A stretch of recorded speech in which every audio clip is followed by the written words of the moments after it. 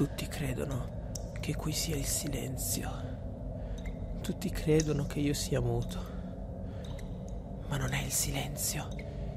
E io non sono muto. Siete voi che non avete orecchie per questo mondo. La mera parola è così inutile e superficiale. Puoi contraddirla con il suo opposto nel momento stesso in cui la pronunci. È la comunicazione degli incoerenti con se stessi. Ma il pensiero, il pensiero non puoi sopprimerlo o soggiogarlo. Viaggia, incurante dei muri che gli poni. Nella sua incoerenza ti lascia coerente con te stesso.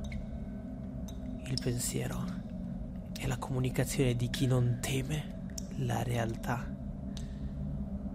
Io l'abisso parliamo così.